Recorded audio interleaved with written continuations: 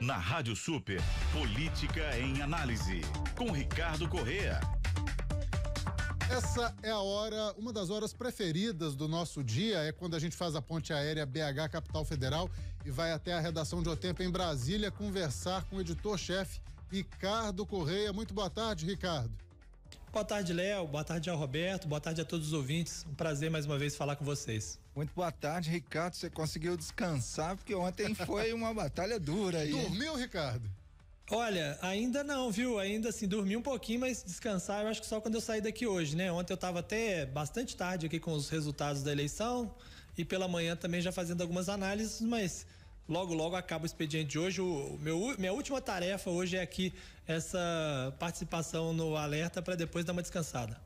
Faz sentido aí, descanso merecido. Parabéns aí a toda a equipe de Brasília, viu, Ricardo? Ontem, ao longo de todo o dia, teve até ouvinte comentando, vendo a carinha do Levi Guimarães, da da Fernanda, Isso. da Luciene, todo mundo falando assim, esses que são os repórteres de Brasília, inclusive nós aqui na redação da Sempre Editora. Então a equipe aí também trabalhou bastante na capital federal.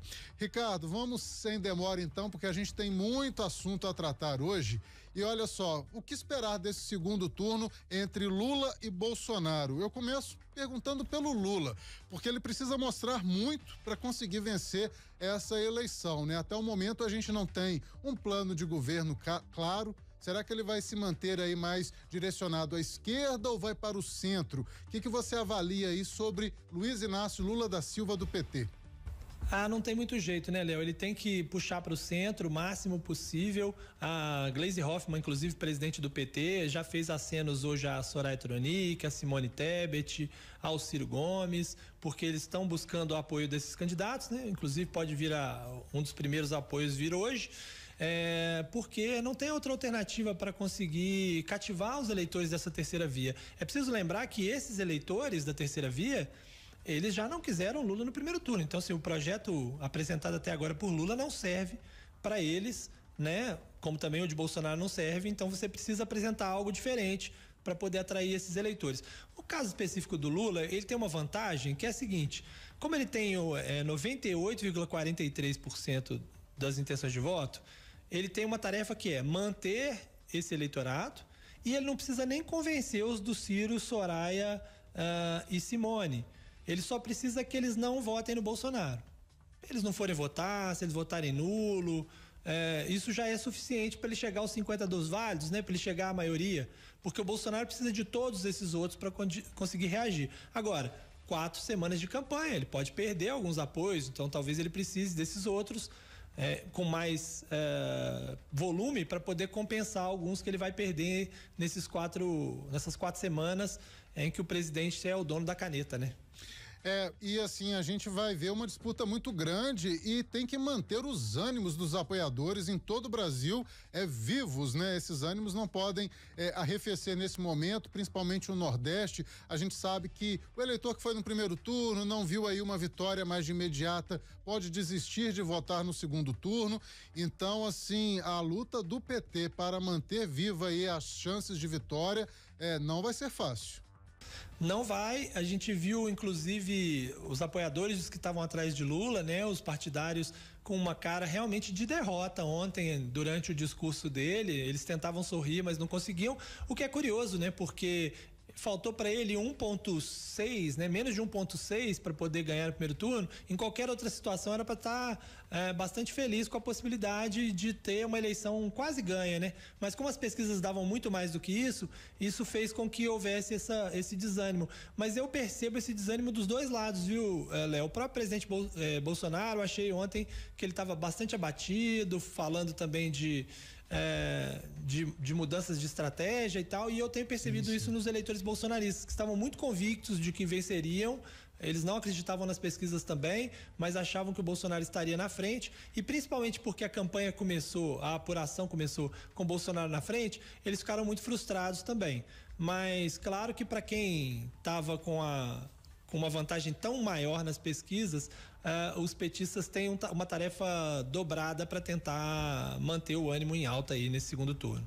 É, sobre o Bolsonaro, Ricardo, ontem assistindo assim mais atentamente ao discurso dele, né, conversando com apoiadores e também até com o QG da campanha, eu senti que ele realmente tinha certeza de que as pesquisas que apontavam uma possibilidade de vitória dele no primeiro turno é que estavam certas, né? Porque é. ele falava isso com muita certeza de que iria ganhar no primeiro turno, apesar de que a gente tinha pesquisas dizendo totalmente ao contrário.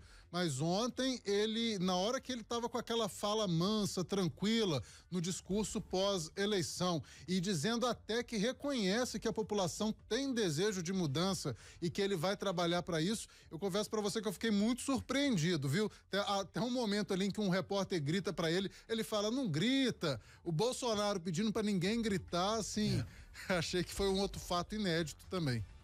É, não, com certeza, um discurso mais ponderado, né, para não assustar esse eleitor mais ao centro, para tentar se mostrar uma pessoa mais equilibrada, porque no segundo turno isso é fundamental para ele conseguir esses votos, sobretudo os votos da Simone Tebet, né, que teve uma postura mais ponderada ao longo da, da campanha eleitoral.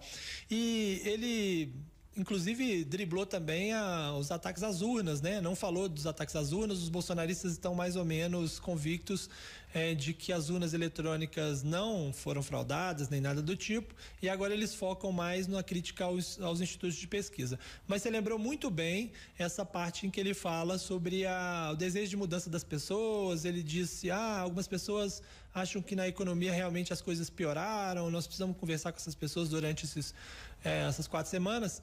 E provavelmente por causa disso o governo vai tomar outras ações para tentar melhorar sua popularidade nesse, nesse aspecto econômico.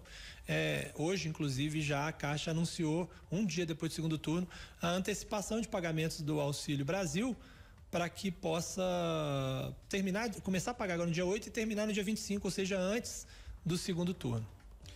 Agora, falando sobre pesquisas eleitorais, Ricardo, claramente alguns levantamentos não foram verificados aí pelas pesquisas, né? A gente teve inconsistência é, tanto no Rio de Janeiro, onde o Cláudio Castro acabou ganhando em primeiro turno, e isso não tinha sido identificado, e com uma vantagem ampla também de Bolsonaro sobre Lula no Rio de Janeiro. São Paulo também uma ultrapassagem aí de Tarcísio é, em frente a Haddad. A gente teve no Rio Grande do Sul que Eduardo Leite quase ficou fora da disputa de segundo turno, Eduardo Leite do PSDB, né, para o Nix Lonezone. Ou seja, o que aconteceram com as pesquisas? O que, que você avalia que precisa se mudar?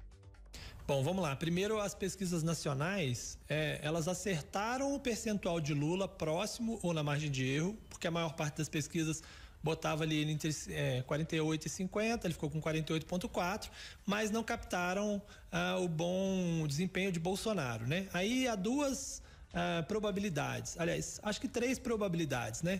A primeira é de que as amostras estão inadequadas para apresentar o que é a população brasileira, sobretudo do IPEC do Datafolha, é, que tem uma, um percentual de pessoas com até dois salários mínimos de renda maior do que outros institutos, outros institutos que chegaram mais perto do resultado. Se for isso, eles têm que fazer essa correção, né? Porque é, a PNAD apresenta um índice de pessoas com até dois salários mínimos menor do que as do Datafolha e do IPEC. E aí eles teriam que ter a humildade de analisar essa situação para melhorar as suas amostras no, no segundo turno já. Essa é uma hipótese. A outra hipótese é de que a abstenção pesou muito a favor é, de Bolsonaro, porque pode, que a, pode ser que a, os eleitores de Lula, é, em sua maioria mais pobres, é, não tenham ido, porque de fato a abstenção entre os mais pobres é maior, e de que o eleitor da terceira via não foi por é, falta de entusiasmo com seus candidatos, já que eles estavam mal. Porque o que a gente viu foi uma terceira via menor do que aparecia nas pesquisas e um Bolsonaro maior. O Lula ficou mais ou menos no mesmo lugar, mas o Bolsonaro teve uma, uma, uma melhora em relação a essa piora da terceira via, essa segunda hipótese. E a terceira hipótese é de que já houve migração de voto útil do outro lado. Pessoas que se irritaram com a pressão do PT para que votassem é, em Lula e decidiram votar já em Bolsonaro para tentar equilibrar a situação. É, se for essa terceira hipótese, é pior para ele, melhor para Lula, obviamente. Mas essa eu diria que é a hipótese menos provável é, no momento. Agora eu chamo atenção: 2018 as pesquisas erraram no primeiro turno, elas não captaram o crescimento de Bolsonaro, elas captavam o crescimento, mas não o tamanho dele, e depois acertaram na mosca no segundo. Eu não sei se esse ano vai acontecer de novo a mesma coisa, né? Se vão errar no primeiro para acertar na mosca no segundo. É, a gente tem dois métodos aí de coleta, né, mais usuais, né, que é por telefone ou presencialmente. O nosso Isso. operador Fernando Viola é três, né? É, tem mais um? É, tem porque a do Atlas, que inclusive foi a que mais acertou e a que mais tem acertado no mundo, é uma coleta com é, randômica pela internet. São convites pela internet em que são depois corrigidas as, as desproporções de acordo com renda, com idade. É, eles vão ajustando isso para no final ter uma, uma amostra que seja exata da população. Eles têm usado isso, só eles usam assim, dos grandes institutos. Por enquanto eles estão acertando, embora há muita controvérsia sobre esse método. É, eu confesso para você que eu nem conhecia, viu, Ricardo? Obrigado aí por acrescentar. Mas aí o operador Fernando Viola diz o seguinte: que quando alguém que é muito bolsonarista não responde nem Datafolha nem IPEC, porque eles não acreditam nas pesquisas e não querem participar. Outra é. coisa é o Datafolha e o IPEC não conseguem entrar nos condomínios quando faz pesquisa presencial, porque não tem essa autorização. Então, uma classe ali da população já foi excluída. Por telefone, boa parte da população não recebe ligação por telefone. Não atende, então, exatamente. É, tem gente muito, que não tem nem telefone. É, justamente. Então são muitas arestas que precisam ser aparadas, novos métodos serem criados para realmente representar o que a população deseja. Agora o Data Tempo acertou bastante, né, Ricardo? Isso a gente não pode deixar de destacar. Exatamente. Minas Gerais acertou em cheio a votação do Lula, acertou a votação do Cleitinho, teve próxima da votação do Zema. A do Bolsonaro também, na margem de erro, podia chegar a 41, ele teve 43, quer dizer, não ficou muito longe também. É, então mostrou essa tendência e mostrou uma, uma proximidade. As pesquisas em geral, Léo, às, vezes as pessoas também falam, ah, poxa, a gente diz, né, a pesquisa errou, né? Mas pesquisa feita na véspera, se a gente tem um volume ainda grande de é, indecisos, se a gente tem essa pressão por voto útil, se a gente tem esse debate sobre abstenção, não necessariamente ela vai ficar igual mesmo. Ela serve como um parâmetro, um parâmetro que muitas vezes é utilizado até mesmo para esse voto útil. Até questionamentos sobre o quanto os institutos de pesquisa não interferem no resultado, né? Que se as pessoas não soubessem nada sobre a eleição, talvez os, as, os votos sejam, fossem completamente diferentes do que a gente tem, né? É isso. E sobre a nova configuração do Congresso Nacional, você tem alguns destaques aí do Senado, do, da, da Câmara Federal no Senado que surpreendeu porque muitos apoiadores do Bolsonaro que não tinham base política nenhuma foram eleitos, né? Isso. É, o Senado, Léo, tem uma característica que é o seguinte, né? São é, numa eleição elege dois terços do Senado, na outra elege um terço.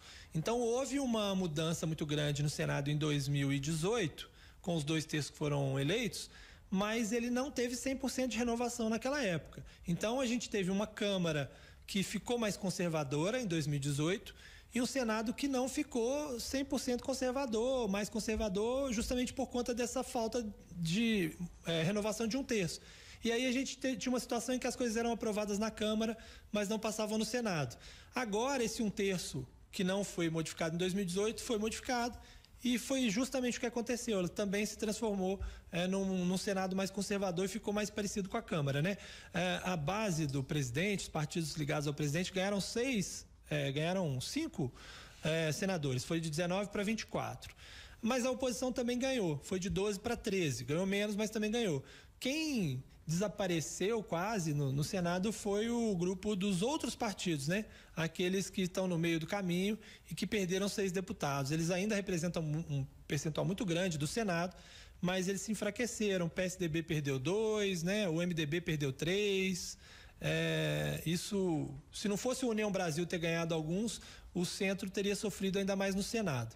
Agora, na Câmara, é, houve uma interpretação de que temos uma câmara, câmara muito mais conservadora e muito mais bolsonarista do que nos outros anos, mas eu estava olhando que não é exatamente assim, assim, tem uma diferença sim, mas ela não é tão grande.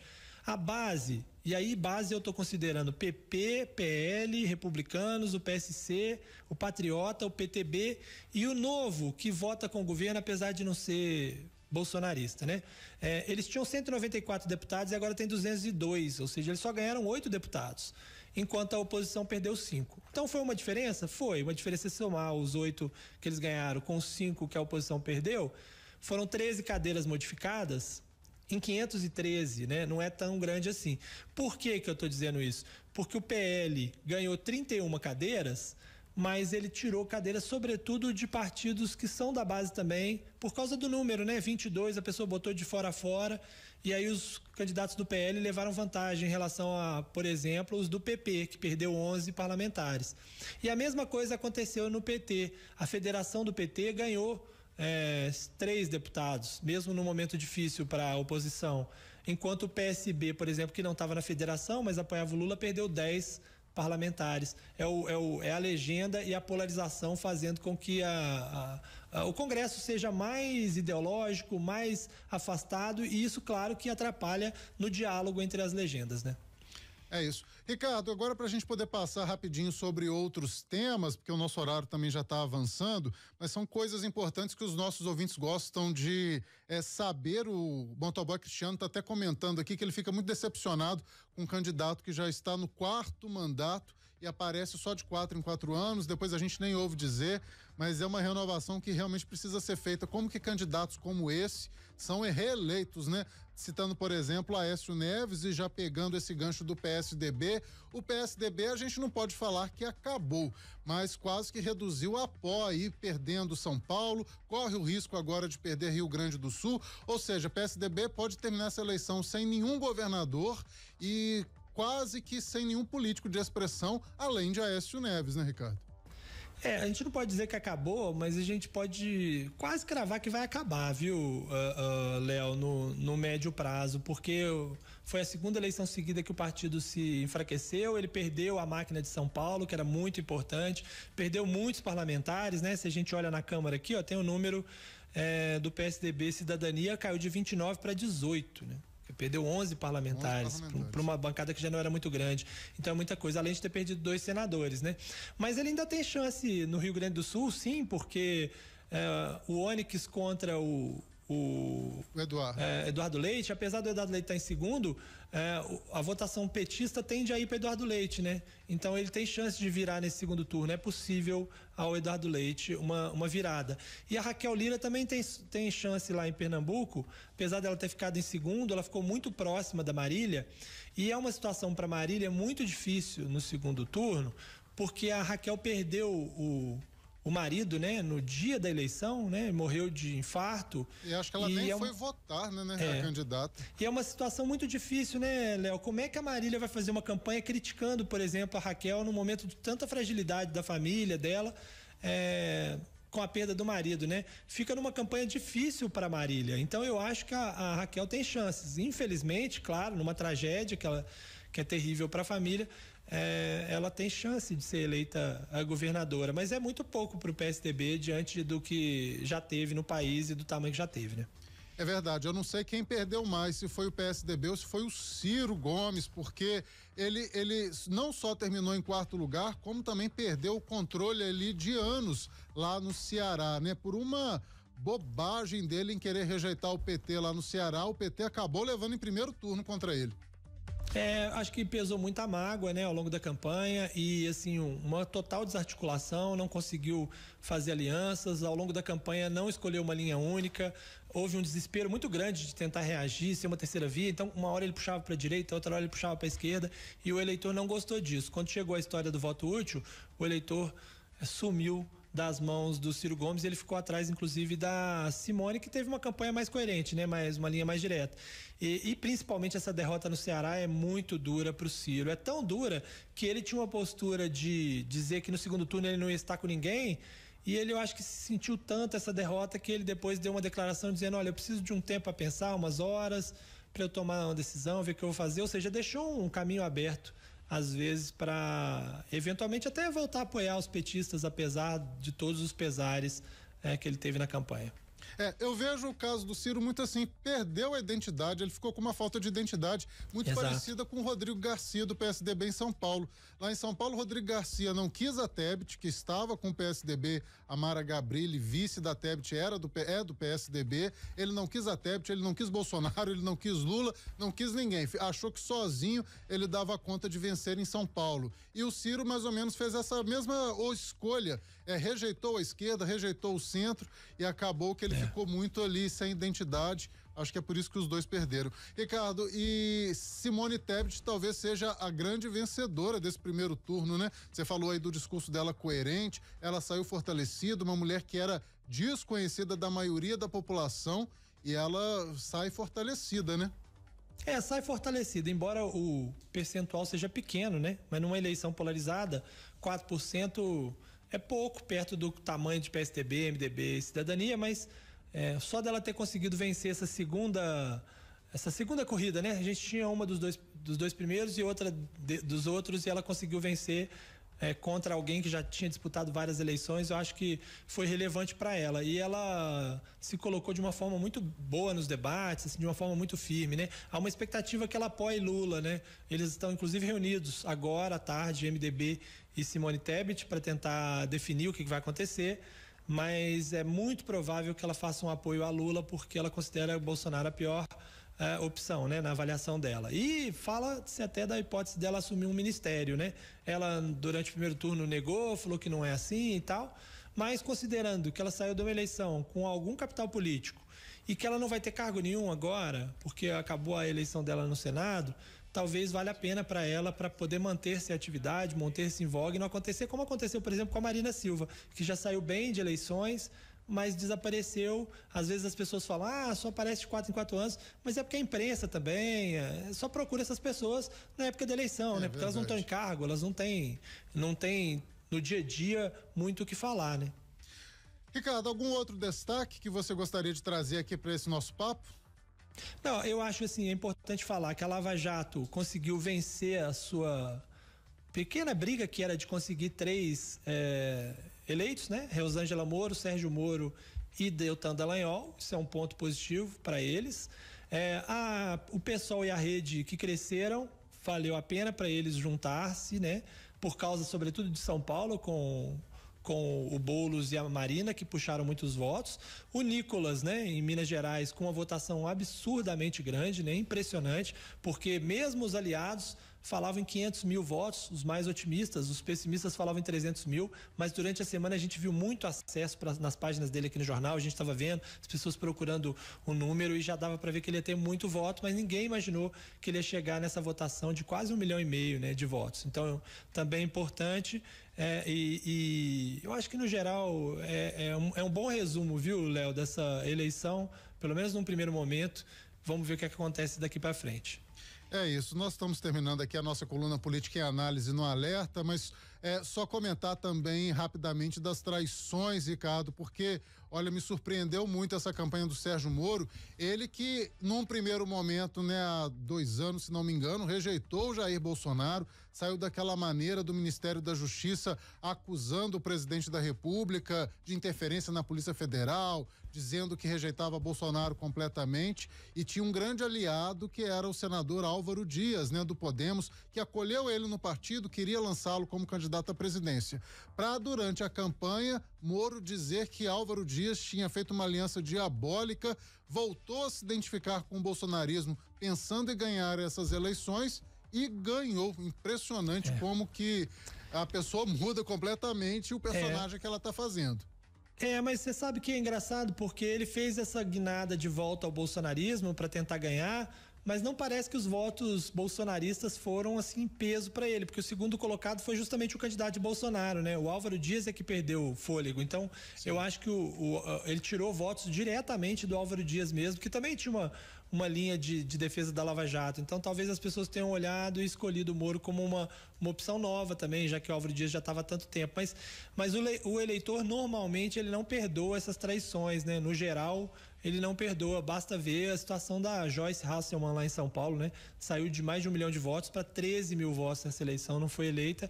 E quase todo mundo que abandonou o bolsonarismo é, se deu mal, né? O Mandetta perdeu também, vários outros é, que tentaram eleições depois de abandonar o, o, bolsonarismo não se deram bem. Geralmente, quem mantém uma linha e vai nela até o final, por mais difícil que esteja a situação, acaba se dando melhor. O PT é um bom exemplo disso. Estava arrasado em 2018 mas não mudou sua linha, não tratou de mudar de nome, de é, tentar reconstruir sua história, de nada, fazer aliança com ninguém, manteve uma linha de defesa total do seu legado e agora está aí com 48% dos votos válidos no primeiro turno, mostrando que a defesa toda, aquela coisa de Lula livre e tal, que todo mundo achava um erro, muita gente achava um erro na época, do ponto de vista político, acabou sendo suficiente para o PT voltar a ter força, né? Não é nada, não é nada. O PT em todas as eleições, desde a é, redemocratização, está lá, de alguma maneira, no segundo turno ou em segundo lugar, quando não, não foi o segundo turno, porque perdeu no primeiro. É, é o chamado marketing político que pega mesmo na população. Último comentário para terminar, mas é, você deu esse exemplo aí do Lula livre. Eu me lembrei muito da época da Dilma, do golpe, né? Temer golpista, é, foi golpe, foi golpe. Por mais que a gente explique, né, que teve todo aquele processo em relação ao Supremo Tribunal Federal, que foi com a aprovação e a chancela dos ministros, mas essa questão do golpe foi tão forte que isso pegou também é. minha população. Mas e... agora não vai ter mais no segundo turno, porque vai ter que ter o apoio do MDB, né? Então vai ter que parar um pouco com esse assunto para poder conseguir o apoio dos caciques MDBistas que ainda faltam, né? Verdade. Uma das grandes mágoas de Temer em não apoiar o Lula no primeiro turno foi porque nenhum petista reconheceu que não foi golpe. Teve Exatamente. também. Ricardo Corrêa, editor-chefe de O Tempo em Brasília, muito obrigado. Coluna mais extensa hoje, mas o tema pedia. A gente vai conversando ao longo da semana. Um abraço. Eu que agradeço. Um abraço para você, Léo, e a todos os ouvintes.